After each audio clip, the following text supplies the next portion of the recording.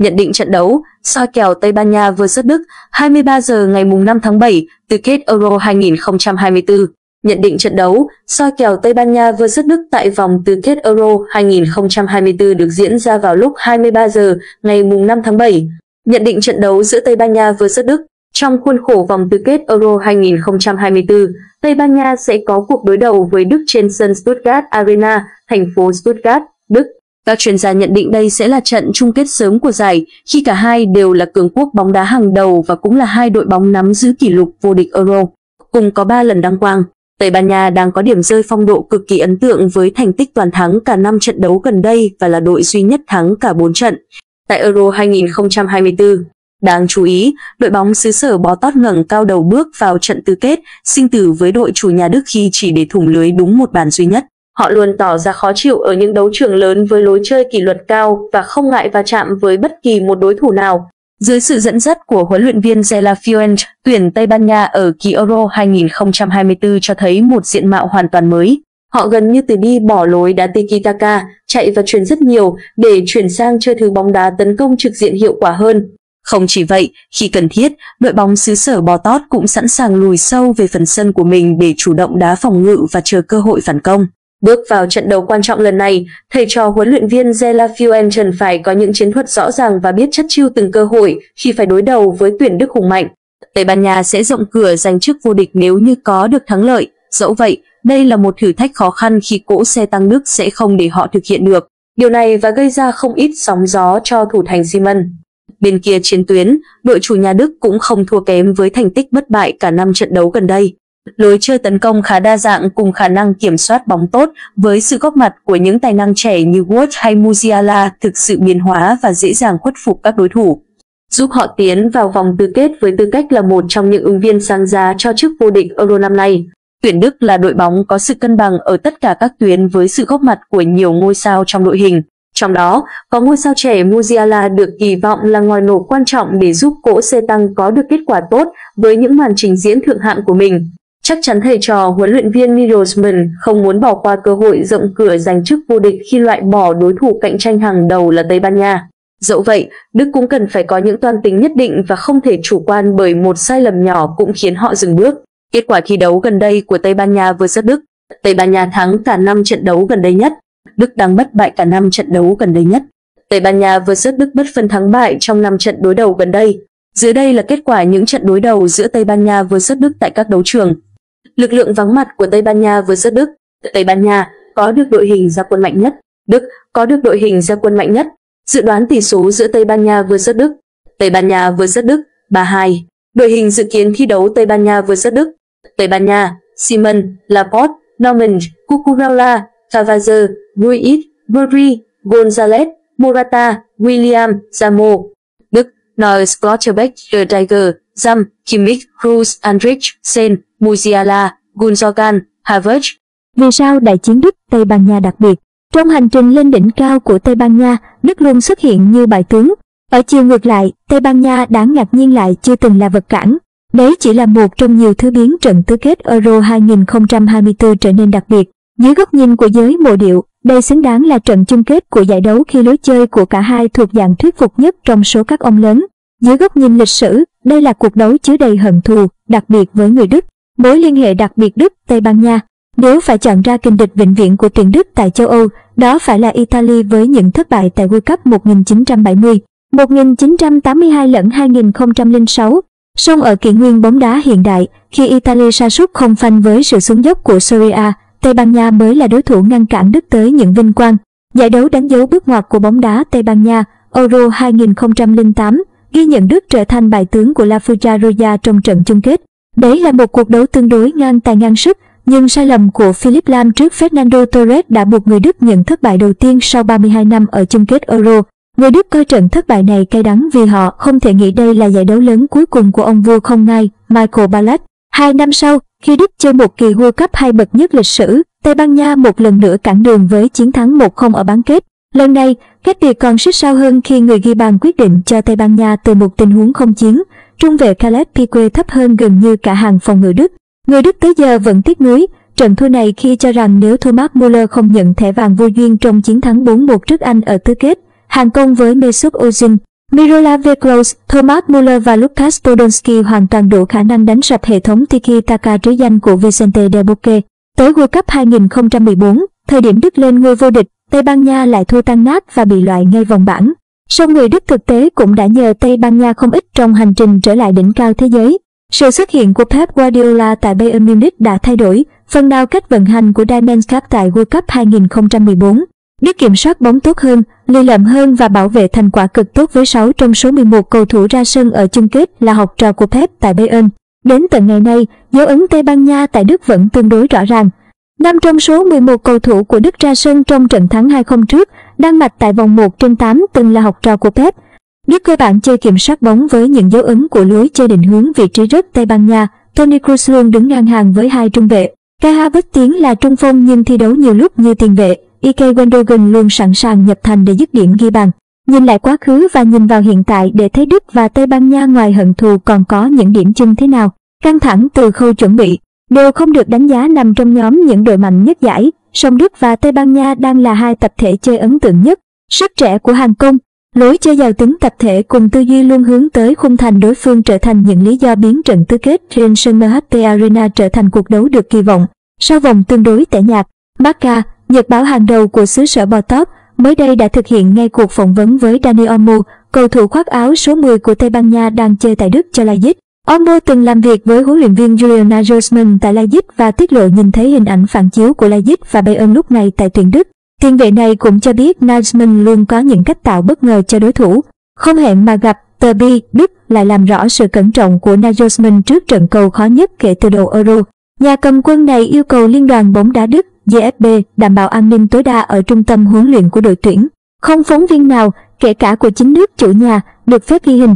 Cảnh sát cưỡi ngựa thường xuyên đi kiểm tra quanh sân vốn được bảo vệ bởi hàng rào điện. Không chỉ hình ảnh, âm thanh cũng bị xử lý. Cách thức của đội ngũ an ninh Đức rất đặc biệt. Bất kỳ phóng viên nào bén mạng tới trại tập luyện của Đức đều ngay lập tức bị đội ngũ an ninh bật nhạc âm lượng lớn và đi theo ngay phía sau, mục đích để đảm bảo các phương tiện ghi âm bị nhiễu loạn. Từ đó ngăn cản các phóng viên thu âm được các chỉ dẫn của huấn luyện viên Nagelsmann vốn nổi tiếng ồn ào cho cầu thủ. Nagelsmann đang muốn có nhiều thời gian nhất có thể để rèn luyện chiến thuật cho các học trò. Diamond Cup của ông đã suýt thua trước Đan Mạch, bị Thụy Sĩ dẫn trước tới phút chót. Tất cả đều cho thấy thực tế, tuyển Đức chưa toàn diện tại Euro 2024. Rất khác với Tây Ban Nha áp đảo toàn bộ đối thủ đội bóng này gặp kể từ đầu giải. Bài toán quần phong đỏ vì vậy không đơn giản với Đức. Xuyên suốt lịch sử, Tây Ban Nha chưa từng thắng được đội chủ nhà tại các vòng chung kết Euro, còn lần cuối cùng Đức thắng được Tây Ban Nha tại một giải đấu chính thức là từ Euro 1988. Một trong hai cái dép này buộc phải chấm dứt sau cuộc đấu thượng đỉnh đêm mùng 5 tháng 7 giờ Hà Nội. Cruz, nếu không thấy cơ hội vô địch Euro 2024, tôi sẽ không trở lại đội tuyển Đức. Toni Kroos không hề cảm thấy hoài niệm trước trận tứ kết Euro 2024 gặp Tây Ban Nha lúc 23 giờ ngày mùng 5 tháng 7 giờ Việt Nam. Đây có thể là lần ra sân cuối cùng của tiền vệ kỳ cựu tài hoa này với tư cách cầu thủ nếu như đội chủ nhà Đức thất bại. Vô địch Champions League cùng Real Madrid vào tháng trước và sẽ giải nghệ sau vòng chung kết Euro 2024. Cruz trở lại đội tuyển quốc gia trong năm nay để theo đuổi danh hiệu lớn duy nhất, còn thiếu trong bộ sưu tập đồ sộ của anh.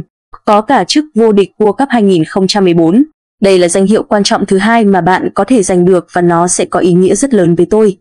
Nếu không thấy có cơ hội làm điều đó cùng đội tuyển, tôi sẽ không trở lại, tiền vệ 34 tuổi người Đức cho biết.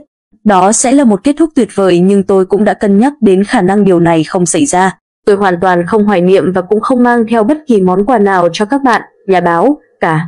Tôi không mong đợi ngày mai sẽ là trận đấu cuối cùng của mình. Vì vậy, tôi cho rằng chúng ta sẽ gặp lại nhau, Tony Cruz nói trong buổi họp báo. Khi được hỏi về khả năng thất bại trước Tây Ban Nha hôm mùng 5 tháng 7 có thể đánh dấu việc kết thúc sự nghiệp thi đấu của anh, đội tuyển Đức đang hướng đến danh hiệu lớn đầu tiên trong 10 năm sau chuỗi thành tích đáng thất vọng ở các giải đấu gần đây. Gồm cả việc bị loại ngay từ vòng bảng World Cup 2018 và 2022, đã có những nghi ngờ lớn về chúng tôi trước khi giải đấu bắt đầu. Điều đó là bình thường sau những kết quả không tốt tại giải đấu trước đó của chúng tôi. Vì vậy, bây giờ đội tuyển Đức đã đạt được mục tiêu tối thiểu và bất kể kết quả như thế nào, chúng tôi sẽ không nói về một thảm họa giải đấu ở đây, Cruz nói. Cruz tiết lộ rằng đội tuyển Đức trước giải đã đặt mục tiêu lọt vào vòng 8, cuối cùng để tránh một lần bị loại sớm và phải xấu hổ, đặc biệt là trên sân nhà.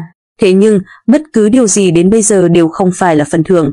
Chúng tôi, với tư cách là một tập thể, có mục tiêu giành chức vô địch. Chúng tôi nên hài lòng nhưng yêu cầu trong đội là phải tiến xa hơn và tin rằng mình có thể làm được điều đó. Tiền vệ truyền bóng chính xác nhất Euro 2024 phát biểu. Toni Kroos đang chơi nổi bật ở giải đấu lớn cuối cùng trong sự nghiệp với tỷ lệ truyền bóng chính xác lên tới 95%, 411 trên 431. Đây là tỷ lệ cao nhất của một cầu thủ thực hiện hơn 300 đường truyền tại vòng chung kết Euro kể từ năm 1980. Thế nhưng, đội tuyển Đức không thể đánh bại Tây Ban Nha tại một giải đấu lớn nào kể từ vòng chung kết Euro. 1988 và tiền đạo Joselu, đồng đội cũ của Cruz ở Real Madrid, nói muốn tiến Cruz giải nghệ sớm. Tôi rất yêu mến Toni Cruz nhưng trận gặp Tây Ban Nha sẽ là lần cuối cùng cậu ấy ra sân trong sự nghiệp. Ai cũng biết Toni giỏi thế nào, cậu ấy là cầu thủ chủ chốt của tuyển Đức. Tuy nhiên, chúng tôi không thể chỉ tập trung vào Cruz. Đội chủ nhà vẫn còn nhiều cầu thủ tấn công nguy hiểm khác. Điều chúng tôi biết là khi Đức tổ chức tấn công, chắc chắn bóng sẽ phải qua chân Cruz. Phong tỏa Cruz, không cho Đức chơi theo cách họ muốn là nhiệm vụ của chúng tôi. Cruz là một người bạn tốt, cậu ấy đã cho tôi nhiều lời khuyên, nhưng có lẽ Cruz nên giải nghệ vào ngày mai thôi, Joselu nói trong buổi họp báo trước trận tứ kết Euro 2024. Đáp lại, Cruz cho rằng mong muốn của Joselu có thể không thành hiện thực bởi vì chúng tôi sẽ thắng. Liệu đó có phải là câu trả lời đủ tốt không? Chúng tôi có rất nhiều thứ để cống hiến và có cơ hội tốt để làm điều đó. Người Tây Ban Nha chơi bóng hay, chúng tôi phải thừa nhận điều đó, nhưng chúng tôi cũng vậy. Tôi hiểu Joselu muốn Tây Ban Nha vào bán kết nhưng Đức có nhiều phương án để ngăn họ đi tiếp. Bạn có thể mong đợi một trận đấu thú vị, sẽ không nhàm chán. Đó là cảm giác của riêng tôi. Tôi sẽ làm mọi thứ để mong muốn của Joselu không thành hiện thực. Dù khen Cruz nhưng Joselu cũng ca ngợi người đồng đội Rodri. Rodri là tiền vệ phòng ngự tốt nhất thế giới. Chúng tôi phải chăm sóc Rodri cẩn thận. Rodri không cần tập cũng được, miễn là cậu ấy khỏe mạnh để chơi trận gặp Đức. Cruz và Joselu từng là đồng đội tại Real Madrid ở mùa giải 2023-2024, đều có đóng góp quan trọng giúp câu lạc bộ Hoàng gia Tây Ban Nha giành cú đúp danh hiệu là La Liga và Champions League. Sau khi mùa giải vừa qua khép lại, Cruz thông báo giải nghệ ở cấp câu lạc bộ và chỉ thi đấu thêm ở Euro 2024. Trong khi đó, Joselu cũng rời sân Bernabeu để chuyển đến Al Gharafa, Qatar, thi đấu. Tuyển Đức đang có giải đấu quốc tế tốt nhất trong 8 năm qua với người hâm mộ quê nhà khao khát danh hiệu đầu tiên sau một thập kỷ. Đức, Tây Ban Nha cũng được coi là trận chung kết sớm giữa hai đội thi đấu tốt nhất Euro 2024 đến nay. Thế nhưng, tuyển Đức phải đối mặt với chuỗi 36 năm không đánh bại Tây Ban Nha tại các giải đấu lớn. Với chiến thắng gần nhất của họ là ở vòng chung kết Euro 1988. Đức thua Tây Ban Nha cùng với tỷ số 0-1 trong trận bán kết World Cup 2010 lẫn chung kết Euro 2008 và đại bại 06 ở Nation League năm 2020. Trước trận tứ kết Euro 2024 diễn ra trên sân MHP Arena, thành phố Stuttgart, đội trưởng IK Gundogan phát biểu, chúng tôi không nên co cụm phòng thủ trước Tây Ban Nha. Với tư cách là một tập thể, chúng tôi có thể theo kịp họ. Chúng tôi cũng có những phẩm chất đặc biệt. Tôi nghĩ người Tây Ban Nha tôn trọng chúng tôi hơn những gì họ thừa nhận trước công chúng. Mới đây, Zen cựu thủ môn tuyển Đức, cho rằng đội tuyển Tây Ban Nha được đánh giá cao nhưng chỉ là tập thể nhỏ bé về thể hình và non nớt, kinh nghiệm thi đấu. Zen bình luận trên tờ quen, Tây Ban Nha được đánh giá cao. Họ đã chứng minh điều đó. Tuy nhiên, nhiều lần trong một giải đấu, một đội bóng đang thăng hoa bỗng dưng sẽ bị loại. Điều này từng nhiều lần xảy ra với Tây Ban Nha trong quá khứ. Nếu xét về mặt kỹ thuật, tôi cho rằng Tây Ban Nha nhỉnh hơn so với Đức. Thế nhưng, đội bóng này quá nhỏ bé về thể hình và thiếu kinh nghiệm chinh chiến ở các đấu trường lớn. Về cơ bản, họ chỉ là đội bóng trẻ. Tây Ban Nha có hai cầu thủ chạy cánh, Lamin Zamo và Nico William, còn rất trẻ và có ít kinh nghiệm thi đấu quốc tế. Bình luận của Zelayman khiến nhiều cổ động viên Tây Ban Nha bức xúc và cho rằng cựu thủ môn Arsenal quá coi thường đối thủ. Tiền đạo Mikel Oyarzabal, thành viên của đội tuyển Tây Ban Nha, phản pháo Zelayman, đó là một ý kiến như bất kỳ ý kiến nào khác. Ai cũng có quyền đưa ra quan điểm của mình, nó chẳng ảnh hưởng gì tới chúng tôi cả. Tây Ban Nha vẫn là đội bóng lớn, chúng tôi không bao giờ buông ra lời lẽ coi thường người khác. Một phóng viên Tây Ban Nha còn gợi ý cho thầy trò huấn luyện viên Luis de la Fuente dán lời phát biểu của Zelayman ở phòng thay đồ để toàn đội có thêm động lực chiến đấu. Tôi không muốn mạo phạm ai, nhưng chúng tôi có đội hình tốt nhất tại giải đấu này. Chúng tôi sẽ chiến đấu cho điều đó và biết trước mặt là gì, đó là Đức, đó là cỗ xe tăng Đức nổi tiếng. Sẽ là một trận đấu rất cân tài cân sức, nhưng chúng tôi rất tự tin vào lối chơi của mình, huấn luyện viên Luis Zelafien cho hay. Mikel Merino, tiền vệ phòng ngự của tuyển Tây Ban Nha, tự tin tuyên bố, chúng tôi biết rằng sẽ phải đối mặt với thử thách khó khăn nhất cho đến nay. Họ là một đội bóng được tổ chức tốt và sẽ có sự cổ vũ của khán đài chật kín khán giả. Đây sẽ là trận đấu khó khăn, nhưng tinh thần của chúng tôi là sức mạnh lớn nhất. Chúng tôi mạnh mẽ khi cùng nhau chiến đấu. Chúng tôi tin tưởng lẫn nhau và điều chúng tôi mong muốn là thi đấu với những đội bóng mạnh nhất rồi đánh bại họ. Euro 2024 ngày 4 tháng 7, sao Đức tuyên bố đánh bại Tây Ban Nha. Cập nhật diễn biến Euro 2024 ngày 4 tháng 7, sao Đức tuyên chiến Tây Ban Nha, tiền đạo Thụy Sĩ thêm dầu vào lửa nội bộ Anh. Buffon tiếp tục với Italy. Đức tuyên chiến Tây Ban Nha. Trước thềm tứ kết Euro 2024, trung vệ Antonio Rudiger tuyên bố đội tuyển Đức không ngán đối thủ Tây Ban Nha 23 giờ ngày 5 tháng 7. Đó là một trận đấu lớn và quan trọng, một trận đấu kinh điển, tôi rất mong chờ bước vào cuộc, Rudiger phát biểu trên Kicker. Rudiger, người có 73 trận khoác áo Men's Cup, cho biết, tôi nghĩ chúng ta đang đề cập đến hai đội ổn định nhất cho đến nay. Tôi có cảm giác đây sẽ là một trận đấu rất sát sao, chúng tôi phải sẵn sàng cho cuộc chiến. Bạn phải dũng cảm tấn công vì họ cũng rất dễ bị tổn thương. Rudiger lạc quan, dù Tây Ban Nha có thành tích toàn thắng, họ gây áp lực cao nên bạn phải cản phá tốt và giữ bình tĩnh. Chúng tôi không được mắc sai lầm nào. Đội trưởng Gundogan cũng tự tin, tôi không nghĩ chúng tôi phải ngại Tây Ban Nha. Đức cũng có những phẩm chất đặc biệt. Tôi nghĩ người Tây Ban Nha dành cho chúng tôi sự tôn trọng nhiều hơn những gì họ công khai thừa nhận. Sao Thụy Sĩ đổ thêm dầu vào lửa vụ Palmer? Tiền đạo Watko Đua vừa có những phát biểu mang tính chất đổ thêm dầu vào lửa về nội tình đội tuyển Anh. Đối thủ của Thụy Sĩ ở tứ kết Euro 2024, 23 giờ ngày 6 tháng 7. Cụ thể, đôi thắc mắc về việc Cole Palmer không được huấn luyện viên Gareth Southgate trọng dụng sau mùa giải nổi bật với Chelsea. Tôi tự hỏi tại sao Palmer không được thi đấu nhiều hơn tại Euro này. Theo ý kiến của tôi, số liệu thống kê của anh ấy ở Chelsea là hoàn hảo, đùa lên tiếng. Đua tự nhận mình hâm mộ Chelsea và Premier League. Anh tiếp, Palmer vừa có mùa giải rất tốt. Chúng ta hãy chờ xem anh ấy có được thi đấu vào cuối tuần hay không. Cầu thủ 27 tuổi đánh giá cao đội hình của anh. Tuy vậy, anh nhấn mạnh Thụy Sĩ có động lực chiến đấu và sẽ tạo bất ngờ để vào bán kết. Buffon tiếp tục làm trường đoàn Italy. Gigi Buffon đồng ý gia hạn hợp đồng với đội tuyển Italy. Sau vài ngày suy ngẫm khi Azzurri bị loại khỏi Euro 2024, cựu đội trưởng quyết định tiếp tục vai trò trưởng đoàn. Hôm nay, mùng 4 tháng 7, Buffon có mặt ở văn phòng Liên đoàn bóng đá Italy để gặp Chủ tịch Bravina và hoàn tất quá trình gia hạn. Màu thiên thanh là làn da thứ hai của tôi, Buffon tuyên bố. Tôi rất vui khi có thể tiếp tục con đường bắt đầu cách đây chưa đầy một năm ở đội tuyển. Như tôi vẫn luôn làm trong sự nghiệp cầu thủ, tôi sẽ cống hiến hết mình cho Azuri. Hơn nữa, trong những tháng gần đây, tôi được tiếp thu kiến thức cùng tính chuyên nghiệp và hy vọng hữu ích cho sự phát triển của bóng đá Italy cũng như đội tuyển. Cùng với việc gia hạn Buffon, Liên đoàn bóng đá Italy khẳng định không sa thải huấn luyện viên Luciano Spalletti sau kỳ Euro thất vọng. Albania muốn tiếp tục với Silvino. Chủ tịch Liên đoàn Albania, Amanduka, xác nhận với Sport Italia về ý định muốn Silvino tiếp tục công việc sau Euro 2024.